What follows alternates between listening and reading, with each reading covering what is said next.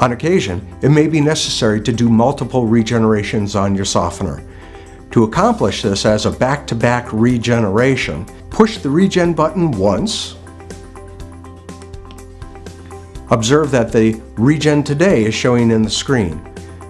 At this point, push and hold the regeneration button again for 5 seconds to initiate a regeneration immediately.